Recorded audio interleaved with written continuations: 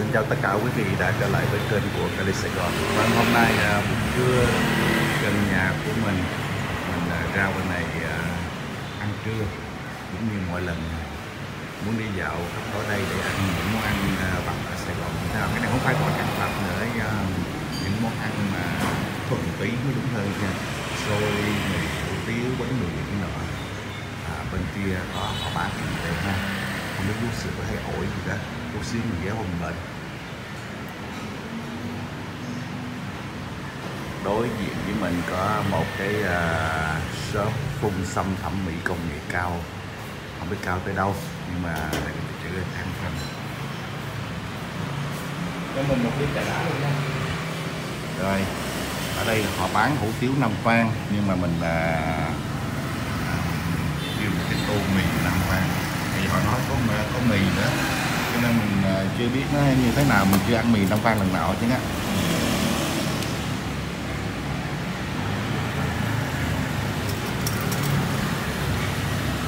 Ok các bạn ơi. Bây giờ mình à, dùng mì Nam vang với lại à, một tô à, một tô gì đây? Một tô mì bình thường mình nghe là hủ tiếu nam vang nha. Bây giờ tự nhiên ăn à, mì nam vang khó kể. Cái gì mình cũng try thử coi như thế nào. Hôm qua thì mình đau bụng quá. À, ăn nem à, chua rồi ăn à, mấy cái lặt vặt ngoài đường. Bây giờ mình không dám ăn rau sống. À. cho nên mình chỉ dùng như thế này thôi. Ở đây họ có mì nè. Rồi uh, thịt nạc bằm cái này là gan hay cật thì mình không biết. Nhưng mà họ sắc rất là mỏng là mỏng kinh khủng luôn á. rồi có một cái trái trứng cút vậy rau ở đây thì nó ngon như mình trong ăn. Đây có ớt. Ớt ở Việt Nam công nhận cay lắm nha, mình đã thử rồi. Rất là cay luôn. Ừ, mình khoái cái này là các bạn, ớt tỏi Giờ mình xin miếng đây ha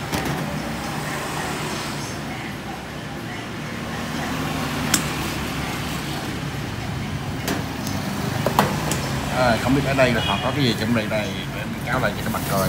Dĩ nhiên tương ớt ớt sa tế à, ờ, hình như cái kia là cái này là hình như là tỏi à.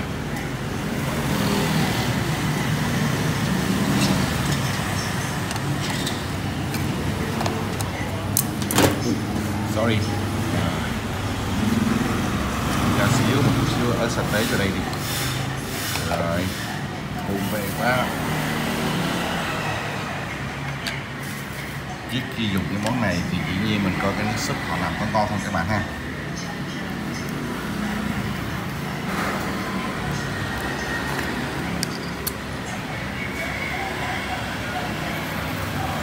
Cái nước súp thì cũng là họ lấy từ cái nước súp của hủ tiếu Nam Vang ra đây các bạn.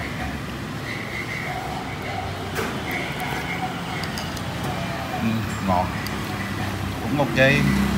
Nhưng thật sự ra chứ ăn mì hủ tiếu phở ở Việt Nam nói thật là mình nói thật chứ không bằng ở Mỹ đâu. Ở Mỹ cái tô chất lượng và rất là ngon. Mình chưa đi cái tiệm phở tiệm mì tiệm nào ở Việt Nam mà ăn bằng uh, chất lượng bằng ở bên Mỹ chứ. Từ uh, bánh phở thịt nước lèo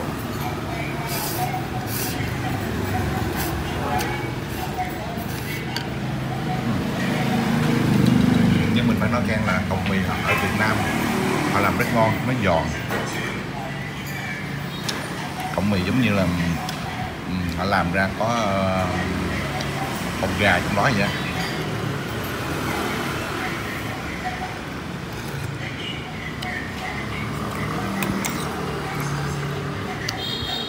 mình bỏ thêm cái nước chấm.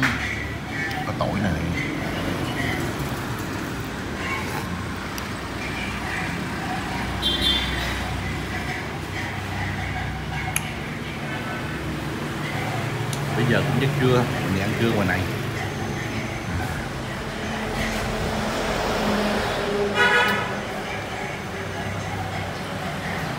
À, chỗ này là trên con đường à, Nguyễn Hồng Đào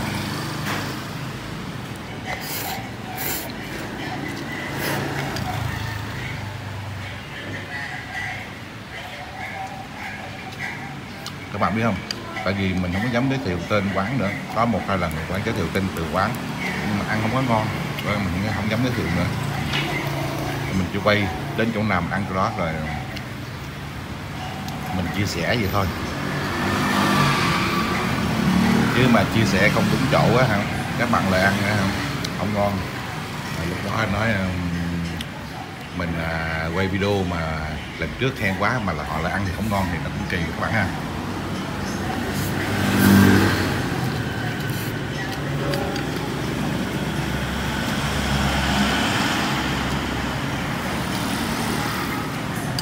Nói thật quán này thì ờ, mì nó là họ làm được. Lần trước mình lại mình ăn hủ tiếu hủ tiếu năm ba thì ờ, không có ngon gì mấy. Đối với mình không ngon gì mấy. Nhưng lần này mì, thì mình thấy con mì ờ, họ làm từng sợi từng sợi ra vậy, giòn, ngon. Để mình biết có bí quyết mà cũng nói mình sợi mì làm nó giòn ngon, phải có hột gà, rồi khi trụng mì trụng vào nước nóng, rồi sau đó trụng qua nước lạnh cho hột ờ, cho mì nó giòn lại. Tùy theo mỗi mỗi nơi các bạn ha.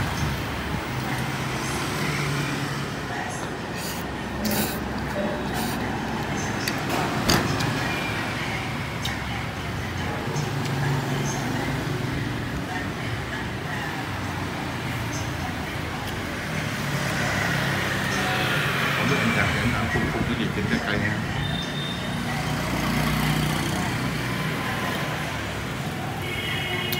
có thể là tại vì nóng quá cho nên phun cho nó khỏi bị uh, trái cây khỏi bị uh, héo hả?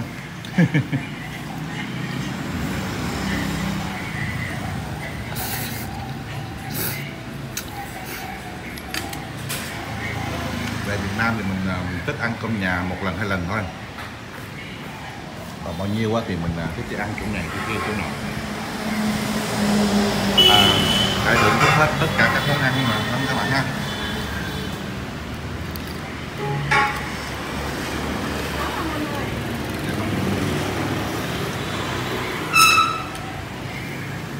đây là cái menu của họ đây đơn nước uống và đầy đủ trứng lòng vàng tôi thường 43 ngàn bánh canh nuôi 56 ngàn hủ tiếu xí bắp thì 46 ngàn hủ tiếu sườn non thì 50 ngàn họ có bán phở nữa. Phở nạm mồi viên tái 43 ngàn.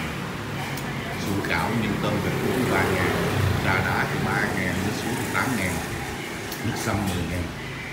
Và các loại trà ô long hay là nước cọ rau câu khác nữa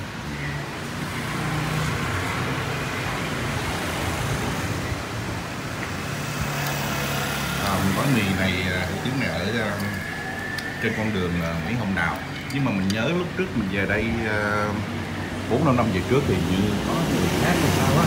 Bây giờ lại có người có chủ nhân khác nữa. Lúc trước thì mình về đây ờ, bốn năm về trước mình nhớ uh, những người đó mặc áo uh, giống như người Hoa những người Hoa gốc Việt đây họ bán hủ tiếu mì. Rồi uh, bộ uniform của họ đồng phục của họ màu đen. Lần này thì mình về thì nó khác khác hơn. Có thể là chủ nhân chỗ này họ lấy lại chỗ này họ bán cũng có thể lắm các bạn. Giờ mình ăn à, cái à, trứng cút ha.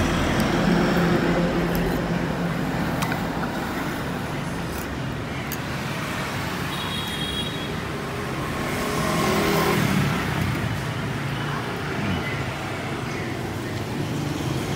Công nhận ớt Việt Nam rất cay. Mình ăn có một uh, miếng thôi à cái bên này là cái chỗ khu vực của quán rồi các bạn. Buổi trưa là người ra vắng khách. Thường thường đây sáng sớm đông không chị? Đông sáng sớm đông đó em hả? Ừ. giờ chắc trưa thì uh, chắc vắng khách ha người ta nghỉ ngơi ha. Quán mình uh, có lâu chưa? Quán mình mở lâu chưa? Ừ. Tại giờ như hồi đó anh nhớ là anh về đây 4 năm về trước á, thì như nó khác khác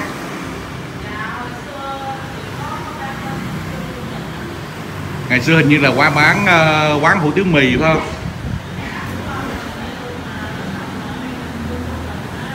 Ờ à, ok quán mình tên gì? Góc phố ở đường Nguyễn Hồng Đào ha. Uhm. rồi cảm ơn em nha. Dạ. Ô oh, đây này có cái cái tựa đề này các bạn. Hủ tiếu Nam Vang góc phố 173 175 Nguyễn Hồng Đào phường 14 quận Tân Bình. Uhm.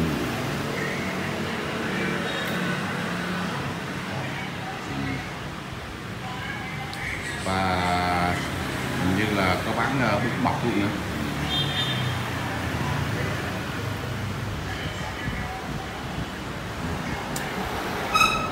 Thường đi này mà có người quay cho mình nó đỡ đúng không ha. Vừa quay mà vừa ăn vừa nói chuyện nữa. À, máy này nó giật chứ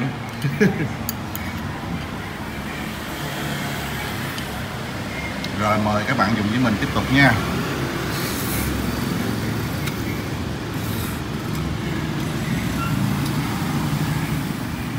một tô như thế này à, khoảng cỡ à, 43 đô 43 nhà là khoảng cỡ chừng 2 đô.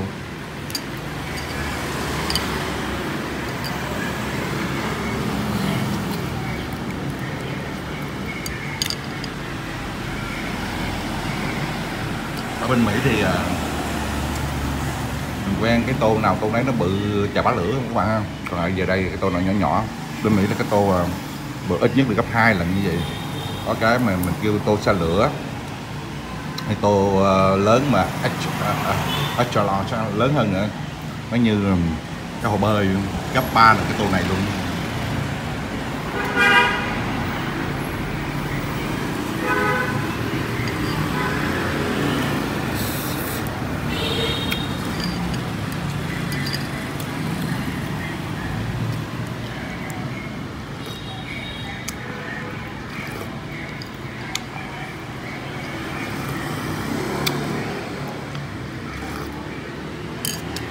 về Việt Nam ví dụ ăn cơm chiều như là nhà cửa đông đúc á thì mình à, ăn cơm nhà.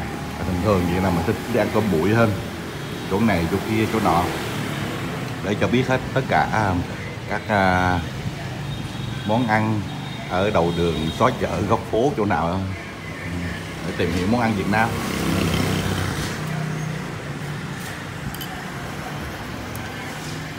Chỗ này thì à, chỗ này mình chỉ khen là cộng mì thôi nước súp thì cũng ok thôi chứ không phải là xuất sắc. Nhưng à, một bữa à, mì mì à, mì Nam Vang họ nói là mì này mì Nam Vang lần đầu tiên mình nghe tại vì mình nghe hủ tiếu Nam Vang thôi chứ, chứ, chứ bây giờ mình nghe mì Nam Vang thôi. Kêu một tô mì Nam Vang để dùng thử. Ừ, cũng được ok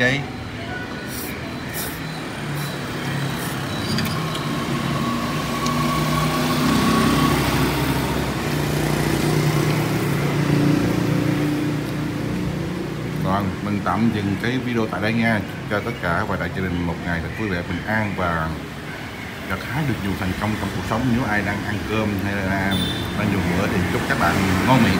Vâng xin chào bye bye. Rồi bây giờ mình tiếp tục lang thang trên đường phố. Mình thấy ổi đây ngon quá các bạn. Cho nên có cái anh này bán vườn ổi đây nè.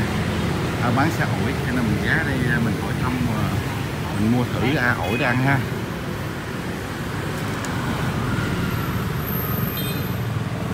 nãy mình à, ăn mì năm vang của tướng năm vang ở cái góc kia thấy ảnh đã bán đối diện nhưng ảnh đẩy lên đây thì mình qua bên đây. Chào em. Này à, bốn chục ba ký à, nha. bốn chục ba ký một ký là 15 nghìn. Ủa tại sao có cái nhỏ cái lớn là sao vậy hả? Ổi cái cây nó ra lâu năm á. Thì nó ra trái nhỏ nhỏ. Cái cây mà kiểu giống thế là nó mới năm đầu năm hai thì nó ra trái lớn rồi lỡ người ta mua là người ta mua à, trái lớn nha. mua trái lớn không được trái nhỏ không được người ta thấy cái này là sao mình tặng á hả? À, tặng 10 ngàn. À, mình mua ổi đây là họ tặng cái này nha mà mình tặng 10 ngàn. Lúc này làm ăn được không? Chậm hả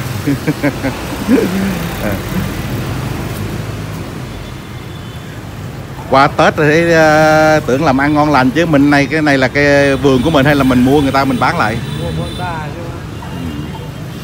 Để mình quay chút xíu rồi mình mua một hai cái ổi ha. Ờ ký thấy không mình có gian ghê chưa? Mình tới là có người mua rồi nè. Là 15 5 kilo is 40. để cho các em mua trước đi mình mua sau ha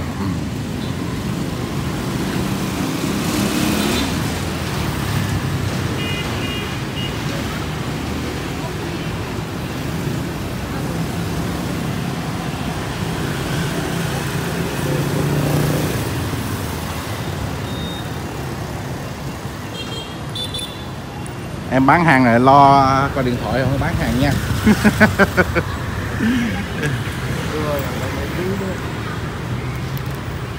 Em cứ lấy cái nào em cứ thích cái nào em lấy cái trái nào ngon mà đẹp em cứ lấy. Thấy chưa? Ngon và đẹp thì cứ lấy xấu để đó cho anh ha thường thường là mình bán cái góc đường Nguyễn Hồng Đào này thôi á hả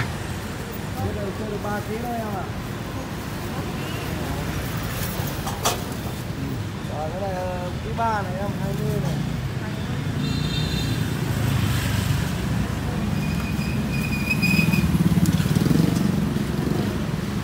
Bữa nay con nghỉ học hay Con không đi học hả?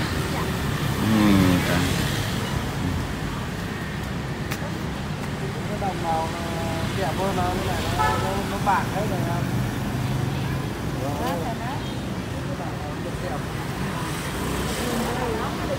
ở đây mà tiền mà hơi rách rách chút xíu là họ- ngại lấy mất các bạn.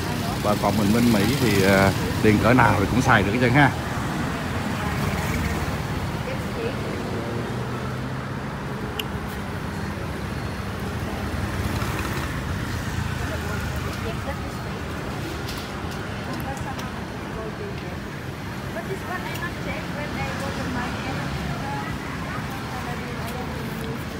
Rồi lấy cho mình uh, 3 kg đây cái nào ngon ngon ha Rồi.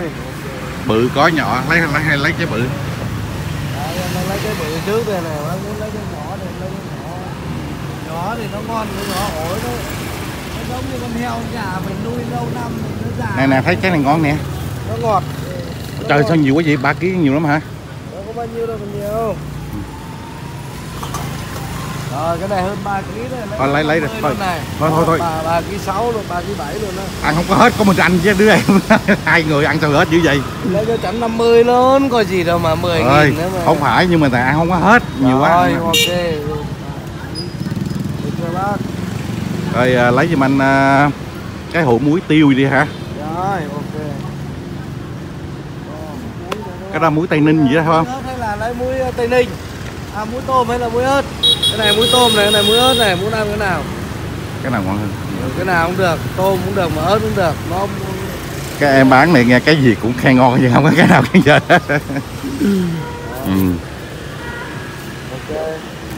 rồi tổng cộng của mình là bao nhiêu tiền ha Ờ, tất cả là 50. rồi ok bây giờ các bạn thấy không đó một ổi này ha ủa sao cái cái ổi này sao nó thấy thê thảm vậy nè? Em. Em đổi mà anh cái ổi đây coi cái nhỏ hơn cái này. Đây, rồi. Cái này nó giả nó vậy mà. Dạ. cái- cái Rồi. bao nhiêu đây thôi nha là có 50 nghìn thôi. 50 đó. 50 nghìn mình tính ra là khoảng cỡ à, hai đô rưỡi. Ăn mệt xỉu luôn. Nó vừa no vừa ngon luôn đó. Rồi ok ha, các bạn ha. Bữa nay mình chỉ ghé ngang cái cái sạp ổi của em này thường thường mình bán ở đây thôi hả? Bán ờ, nói chung là cứ ờ, mình đi di chuyển đứng một chỗ nhiều là thấy công an đô thị nó hay đuổi lắm. Đuổi nên đuổi là mình chạy đó gì không? Vâng, cứ lang bang lang bang vậy tiện thôi. lợi các bạn. Vừa bán cái này là có à, muối lô tiêu luôn muối ớt luôn sẵn sàng đầy đủ hết cho quý vị hết. Con này bự. Cũng nó luôn á hả? Nó luôn đó Nè luôn ha. Rồi ok các bạn đã cùng với mình chia sẻ một cái uh, sạp ổi ở bên lề đường nha. Có gì cái mình đi đến đâu mình quay tới đó đi đến đâu mình quay tới cho các bạn xem. À đây trong đây